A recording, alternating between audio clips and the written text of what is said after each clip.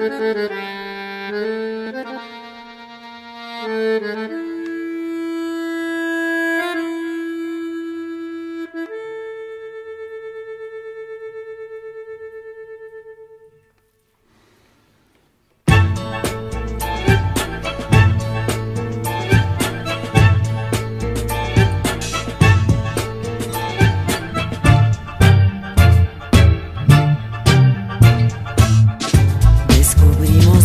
Yo.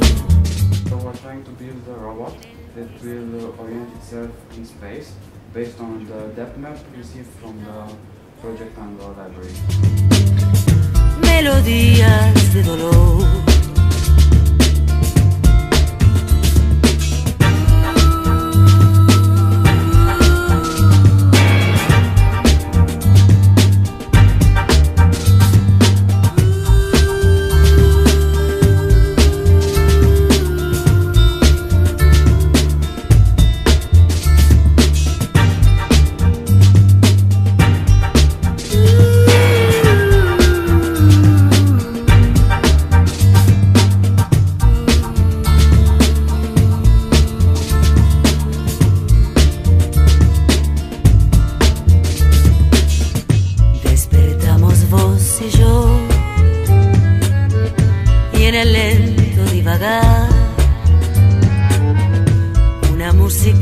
Brutal